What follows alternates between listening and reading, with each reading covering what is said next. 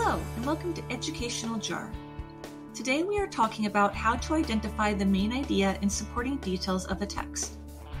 Sometimes when you're reading, it can be hard to figure out what it is you should be focusing on. This can make reading feel overwhelming. One method of narrowing down the purpose of an article is by identifying the main idea and supporting details. So, how do you do this? In just three easy steps. First, you identify the topic. This is usually just one or two words that say what the main focus is. Then, you identify the main idea. This will be a full sentence and will state what specifically the author is trying to tell you about the topic. Then, last, you list the supporting details. Those are all the little facts and pieces of evidence that prove the author's main point. Let's go through some examples. Here is a sample text. It says, having a pet can be good for your health. A pet can be good company. It gives you something to focus on besides yourself. Studies have shown that having a pet can also reduce stress. Now that we have read the paragraph, let's break it down. First, what is the topic? Remember that a topic is just one or two words that say what the text is about. One way to locate the topic is to see what is repeated. Notice the word pet is said multiple times. So the topic here is pets. Next, what is the main idea?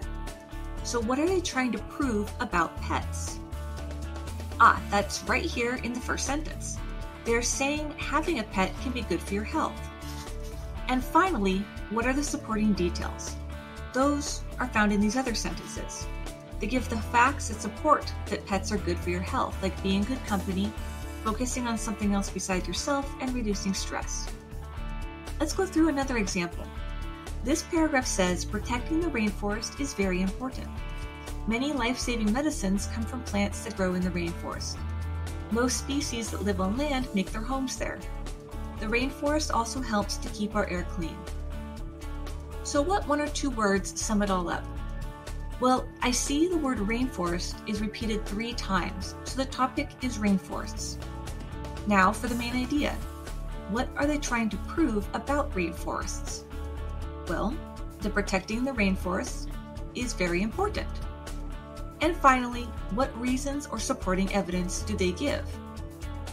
Oh, that would be in these other sentences that say many life saving medicines come from the rainforest, most species that live on land make their homes there, and that the rainforest keeps our air clean. So, to review, in order to figure out the main idea and supporting details of a text, first you identify the topic, which is just one or two words that say what the text is about. Then you locate what they are trying to prove about the topic. That is your main idea. Then finally, you list the evidence they use to support the main idea. If you do this, you can figure out what is most important in an article and what it is you're supposed to be studying or remembering. And that is all for today's educational jar.